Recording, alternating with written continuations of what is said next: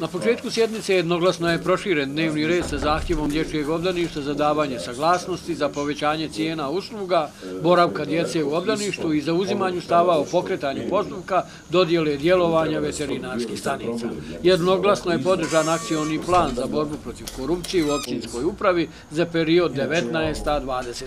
godina. Jednoglasno je prihvaćeni plan implementacije i indikativni finansijski okvir projekata razvoja za isti period. U raspravi o izvršenju budžeta vječnici koji nisu dio većine su iznijeli primjedbe da je izvještaj dobar, ali da neke stvari treba dodatno pojasniti i u buduće kod planiranja budžeta treba biti puno realniji. Izvršenje budžeta je prihvaćeno većinom glasova. Bez rasprave je prihvaćen izvještaj utrošku budžetske rezerve.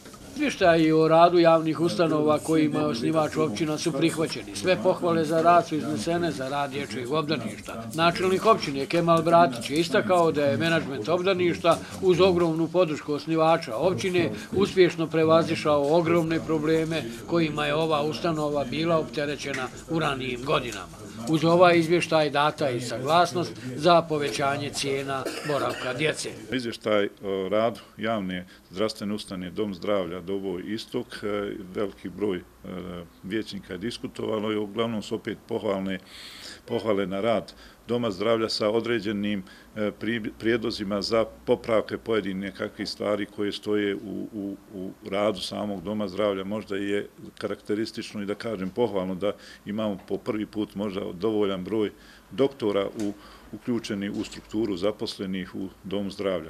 Bio je izvještaj e, o radu Centra za socijalni rad. Iz ovog izvještaja se da zaključiti da Centar za socijalni rad ima probleme sa e, migrantima, iako znači naša opština nije na rubu E, granci, odnosno naše države, ali je e, sjedište e, humanitarne organizacije Mauz su smješteni, pa, smješteni ovi migranti, pa pripadaju obradi, obrada tih migranata, spada u naš centar za socijalni rad i oni su iskazali svoje određene probleme oko realizacije tog posla.